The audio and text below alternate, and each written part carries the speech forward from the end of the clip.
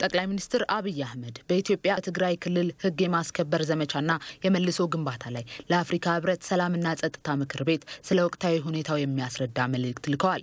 ኢትዮጵያ ከሶስት ዓመታት በፊት እውነተኛ ዲሞክራሲን እውን ለማድረግ የተሃድሶ ማዕበል እያካሄደች እንደሆነችና የእርሳቸው አስተዳደር ወደ ስልጣን ከመምጣቱ በፊት በነበሩት ሰላሳ የሚጠጉ ዓመታት በህወሀት የክፍለ ግዛት ቁጥጥር ሀገሪቷ መጎዳቷን ጠቁመዋል። ህወሀት ስልጣኑን ለማስቀጠልም የመንግስትን ስልጣን በመጠቀም ተቃዋሚ ኃይሎችን በማፈን ብሔረሰቦችን እርስ በርስ በማጋጨት ቂምን፣ አለመተማመንና ጥላቻን በዜጎች መካከል ሲዘራ እንደነበር ጠቅላይ ሚኒስትሩ በመልእክታቸው አስታውሰዋል። በኢትዮጵያ ከ2008 እስከ 2010 የኢትዮጵያ ህዝብ በአንድ በመሆን ሲያደርጋቸው የነበሩ የተቃውሞ ሰልፎች የህወሀት ስልታዊ ጭቆና እንደበቃቸው ግልጽ ማሳያ ነበር ያሉት ጠቅላይ ሚኒስትር አብይ አህመድ በአስተዳደራቸው ከ2010 ጀምሮ እየተደረጉ ያሉት ጥልቅ የፖለቲካ ኢኮኖሚያዊና ማህበራዊ ማሻሻያዎች ከህዝብ ፍላጎት የመነጩ መሆናቸውንም ገልጸዋል። ይሁንና ህወሀት በሀገሪቱ እየተደረጉ ያሉ ማሻሻያዎችን ካለመቀበሉም በላይ በአዲሱ አስተዳደር እየተደረገ ያለውን ጥረት ለማዳከም ከሶስት አስርት ዓመታት በላይ ያደራጀውን የግንኙነት መረብ ሲጠቀምበት እንደነበርም አስረድተዋል። የመጨረሻ ዓላማቸው በኢትዮጵያ የተሻሉ መሆናቸውን ለዓለም አቀፉ ማህበረሰብ በተሳሳተ መንገድ ማሳየት ነበር ያሉት ጠቅላይ ሚኒስትሩ የጎሳና የሃይማኖት ክፍፍል መሐንዲሶቹ ከጥፋት ወኪሎቻቸው ጋር በመሆን በተመሰረቱባቸው የጥፋት መስመሮች ላይ ጫና ማሳደር እንደጀመሩም ገልጸዋል። ይሁንና አስተዳደራቸው በህወሀትና በአዲሱ አስተዳደር መካከል የተከሰተውን ችግር ለመቅረፍ ሰላማዊ ውይይቶችን ለማድረግ የሀገር ሽማግሌዎችን ሳይቀር ወደ መቀሌ እንደላኩ የገለጹት ጠቅላይ ሚኒስትር አብይ ህወሀት ግን አሻፈረኝ በማለት ህገ መንግስታዊ ያልሆነ ምርጫ በክልሉ ላይ ከማካሄድ ጀምሮ ህገ ወጥ በሆነ መንገድ ሚሊሻውንና ልዩ ኃይሉን በማሰባሰብ የጦርነት ፕሮፓጋንዳ ሲጎስም እንደነበርም አስታውሰዋል።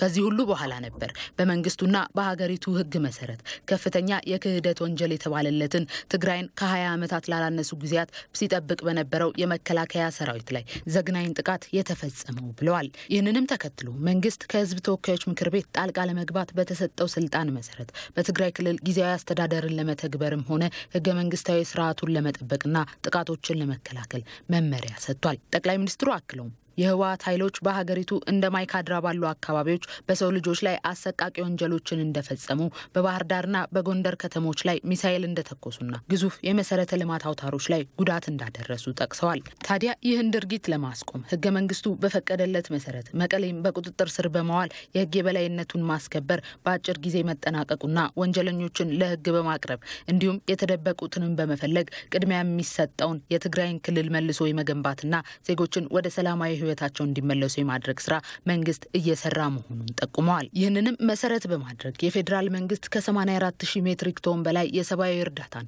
ለ4.1 ሚሊዮን ሰዎች ድጋፍ ማድረጉን ጠቅላይ ሚኒስትሩ ገልጸዋል።